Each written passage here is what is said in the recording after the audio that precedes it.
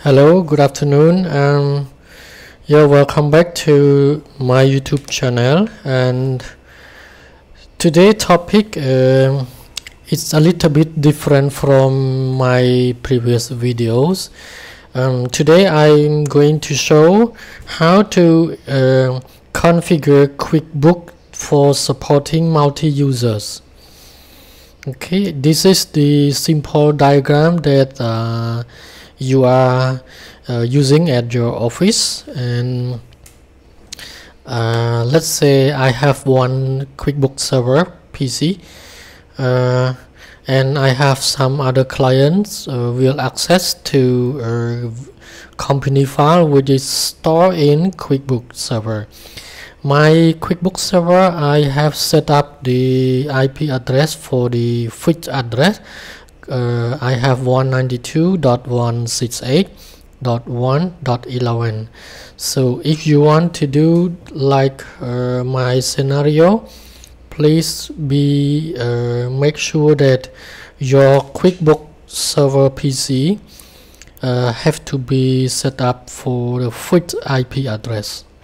If you set up for random IP address the the the client will not be able to access the company file.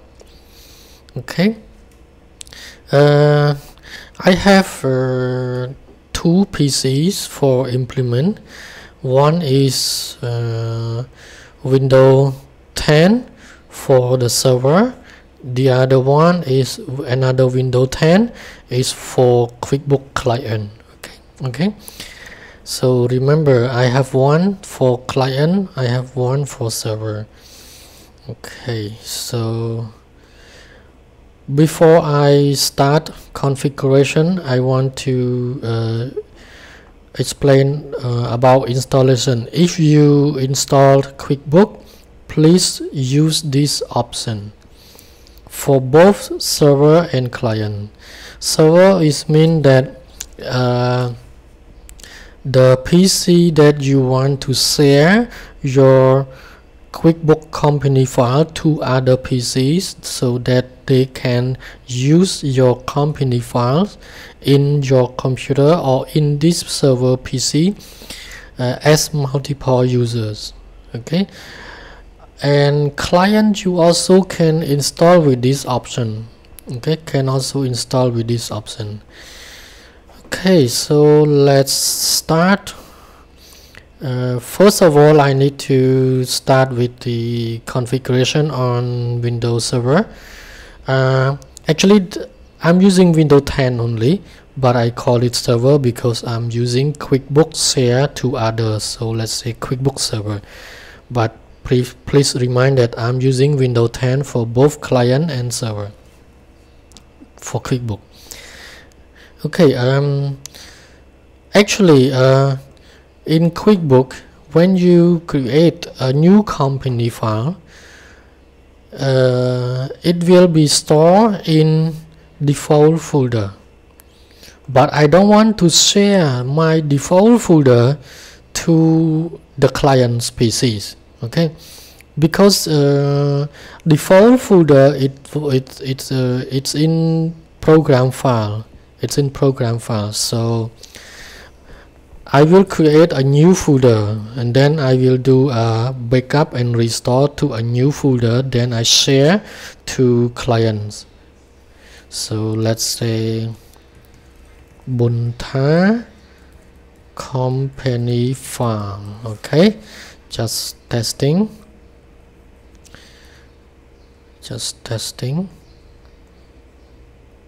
I don't know how to use uh, QuickBook actually. I just want to uh, explain how to configure QuickBook uh, for supporting multi-users access.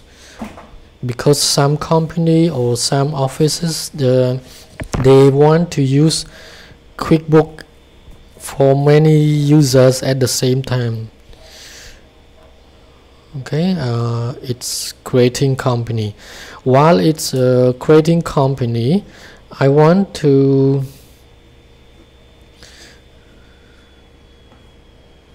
wait.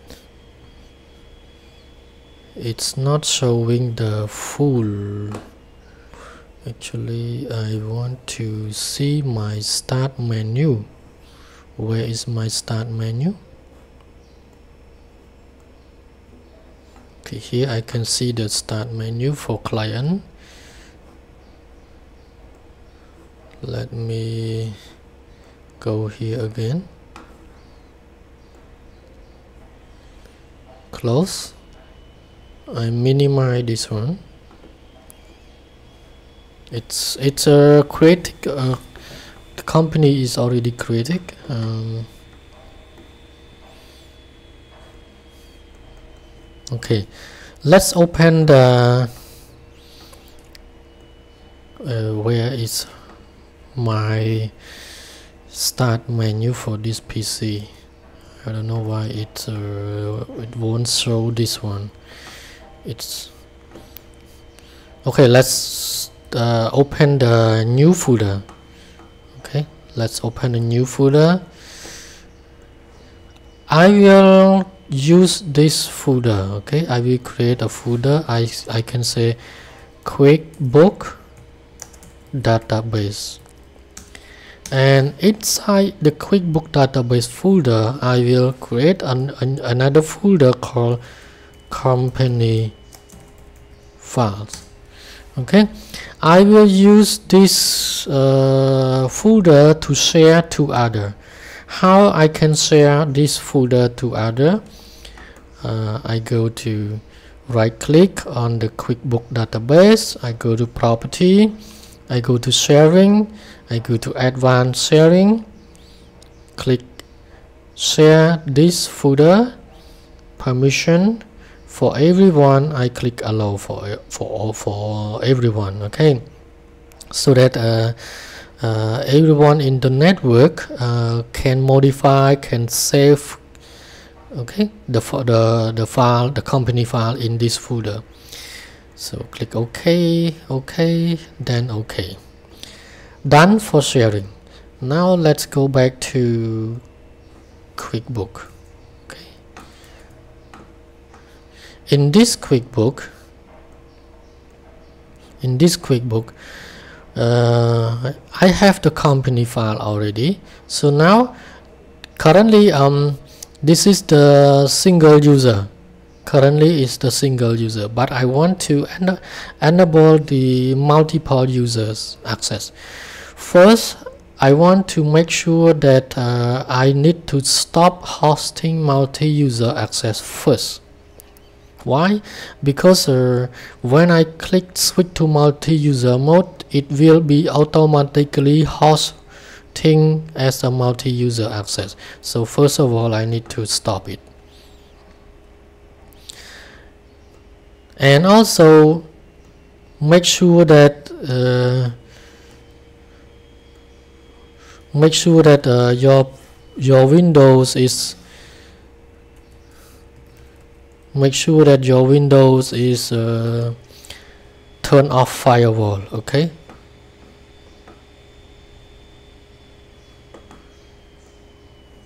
your window is turn off firewall for private network. On your server. On your server okay? But do not turn off the public network. Just turn off the, the private network for your local network only okay? Be sure that.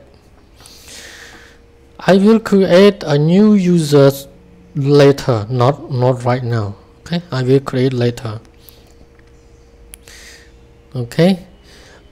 For my experience after I uh, stop hosting I need to reboot my computer first.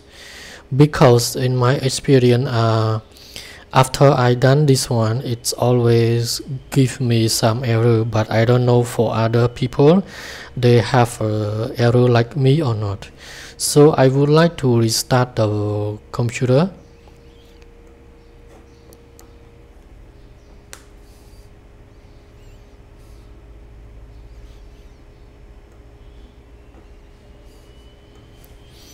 okay. It will be coming later. Let me test for this is the the uh, server IP address okay? Um, after reboot it will be reply. Then I remote to uh, server again to configure the QuickBook and then switch to multi-user access. So now it's back. So I click remote to the uh, PC server PC currently we are configure uh, QuickBook server okay? Please remember that. We are not uh, going to the client yet. Okay I'm opening the QuickBook again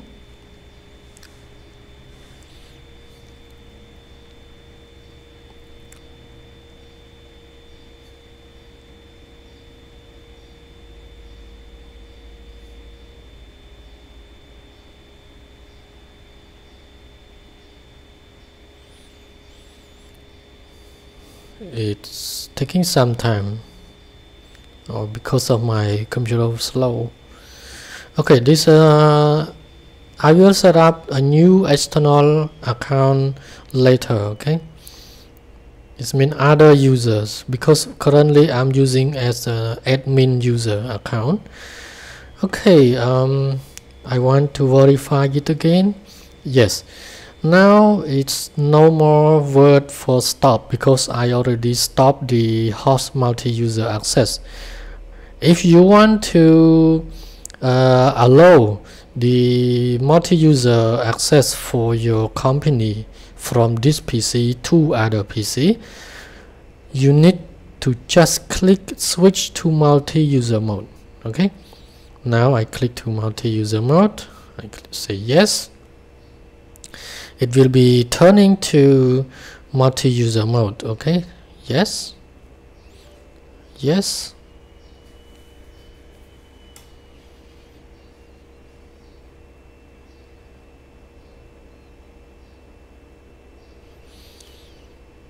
It's uh, creating communication. Yes. Now we have set up our company file for multi-users okay? The, the the message just now we need to do one more thing for uh, QuickBook database server. But for my experience I I no need to do that okay? I no need to do that. But I don't know for other people they require for for um, uh, doing the QuickBook database server or not. But for me uh, I don't need that option okay? So right now I need to create a new user okay? Say yes. Yeah. Now we are using admin. Remember this user admin is for this PC we call it QuickBook server okay? So I create a new user for user 1 user 2 just simple one user 01 the password uh, test t e s t test add 1 2 3 test add 1 2 3 and then you can give the permission of the uh, QuickBook. I don't know. I just add to all. I just add to all. Okay. I create one more okay? Let's say user 02 password test add 123 test add 123 okay? I just add all the rules okay for the real thing you can modify the rules. After you uh, create a user you can modify it later okay if you want. So I have created two users.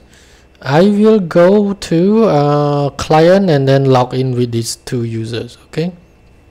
So now we are done on the server. We are done. No we are not done yet we are not done yet. We need to back up the company local backup. Remember we just create uh, a new folder. We just created the company folder. We can backup to other I say let's say I backup to the the other folder and then uh, I will restore to our sorry this is the backup file.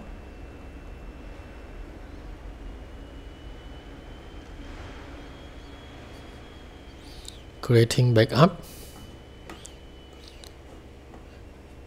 so this company even though you uh, set up as a multi-user access for this company wherever you store it's always uh, enable the multi-user access option. So I close the company I close the current company. I don't care where it's saved I don't care where it's saved actually it's saved in the default folder in in the our document pub user public document but I don't want to use that okay? I don't want to use that. If you want to use no problem. You just share the uh, public folder to other okay? There there are two options okay? There are two options uh, by default it, it it's saved in public user okay? Document here. You can just share this document okay? You check you can just share and you can use that uh, uh, company file for other. But let's say I don't want to use here let's say you can store your company file on drive D on drive E wherever you want. You do like just now. I have done the backup. Now uh, I'm going to restore. I remove this. I don't want to use this anymore. I don't want to use the the uh, uh, default folder. I want to to use a new folder. Okay so I go to restore restore a backup from local. Here I just restore. To my new folder okay? Here the to the new folder we just created and shared okay? Save.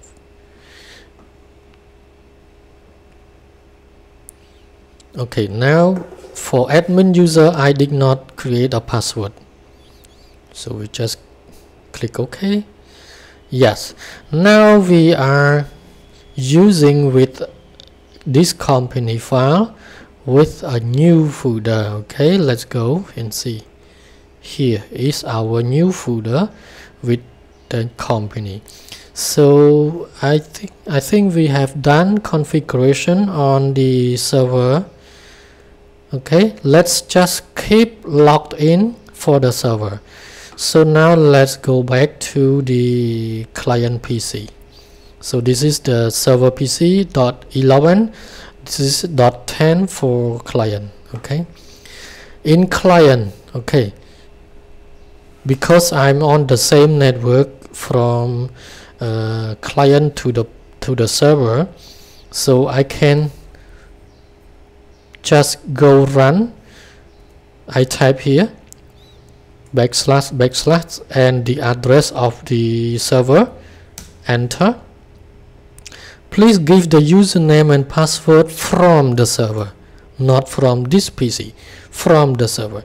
My server PC, I have username called QB server and the password of the server of the QB server okay? I click remember because next time when I shut down and I restart it will always automatically connect my map drive. Because I'm going to use map drive. Does uh, if you don't map drive the company file will not be able to open from the client okay?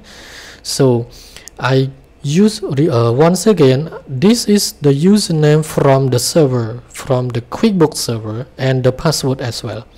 And please do not forget to click remember then click OK.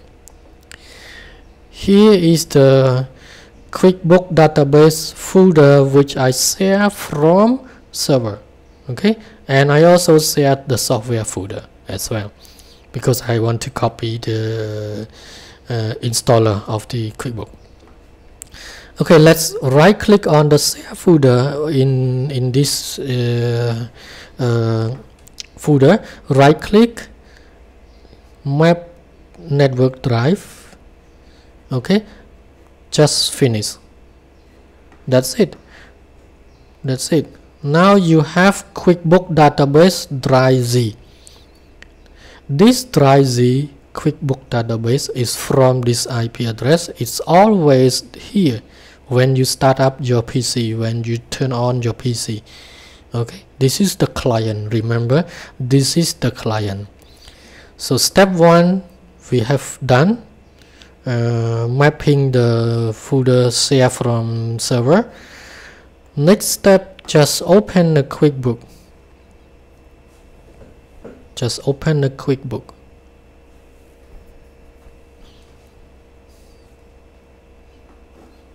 we don't need to create a new one.